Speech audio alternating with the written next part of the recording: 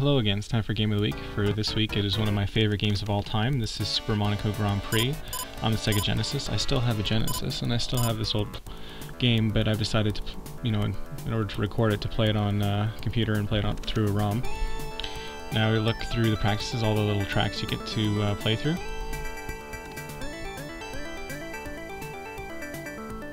You can see how old this game is with the West German map there. I used to play this as a kid. It was the first game that really got me into uh, video gaming.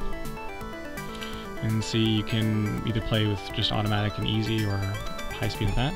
Now look at the Super Monaco Grand Prix mode.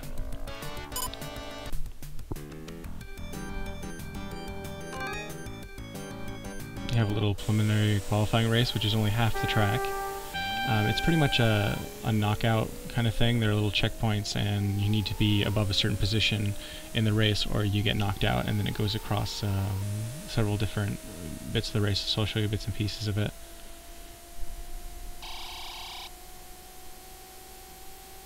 And there's the race bit. As you can see, I need to be above 15th here.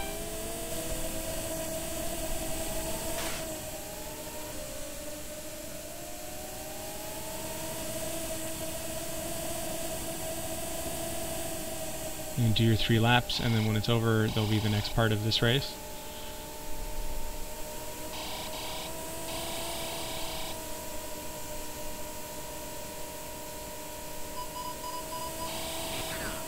And unfortunately hit him. you can't get away with hitting this. Eventually there'll be a little trouble thing that'll come on the screen that makes you have to pit to repair.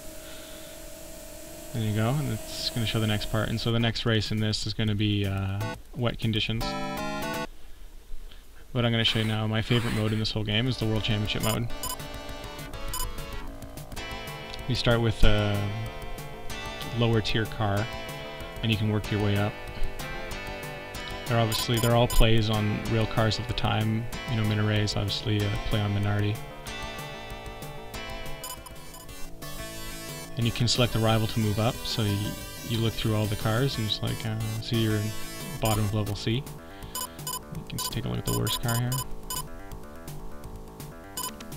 The car's difference is uh, speed, handling, you know, just the way you'd expect a better F1 team to have. This is the guy who will be your main rival through most of the game, or at least will improve the most of all the rivals. And then, you know, you look through the top cars, and I'll pick my favorite car here. I'll play on Ferrari, obviously.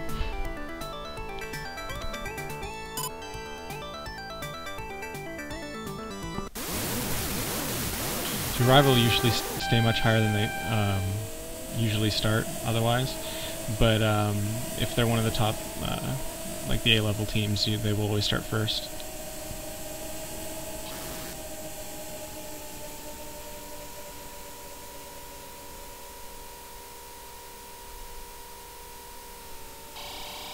Didn't take that corner quite well enough.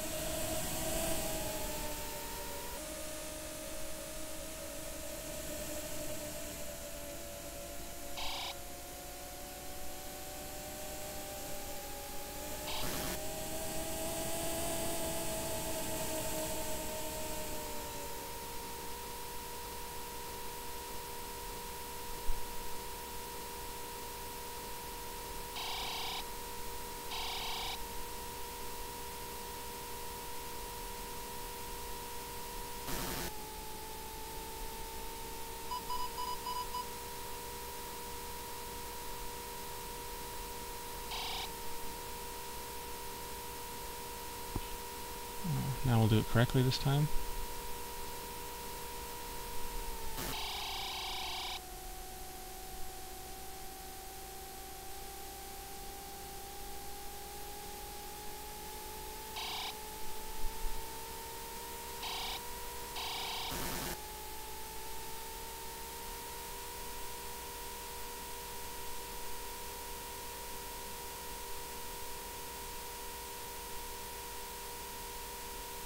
Unfortunately, the sign, if you hit a sign too hard, you can crash. I'll show you a bit of that later. And as you move on, I've moved up a couple of cars to not to do the huge jump at the beginning from mid-level car to the end. I mean, you can do it, but it's kind of fun to work your way up. So I picked the top B level car here. See, I took a little damage, so you see the trouble sign come up. but uh, there's no need to pit on the final lap. This would be the US Grand Prix.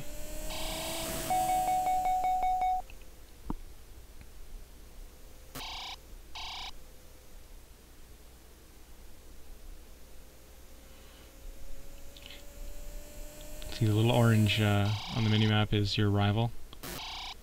And the second thing is always his position.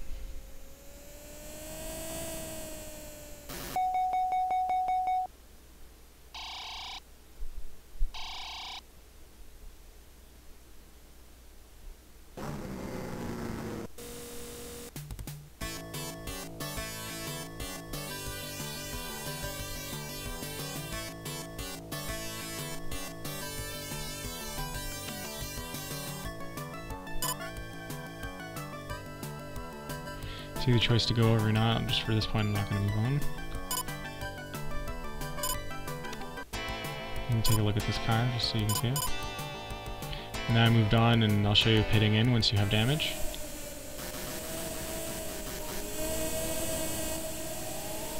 Just repairs your car and any problems you've had.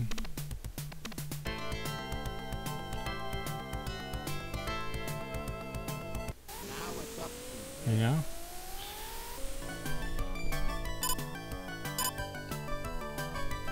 Now I've moved on to the top car here, and we'll give you a look at uh, preliminary race and a little bit at the beginning of uh, a race.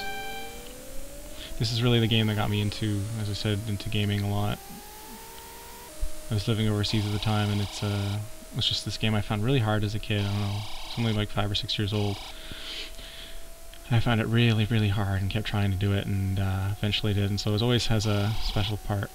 Uh, of my heart in there, and uh, I go back every couple of years and play it. And it just happened to be this week that I felt like playing it again.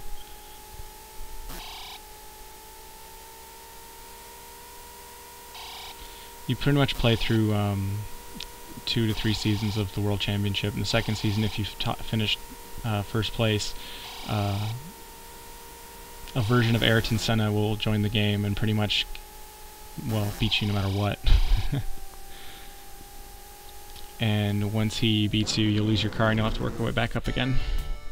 You can never get the top car back. And see, when you are the top car, someone will challenge you, and this is the guy that was the top car driver before. And because he's challenging you, he'll be much higher up in the pole than he would be. If he wasn't challenging, he'd probably be like 7th or 8th. So that's my one of my favorite games, Game of the Week.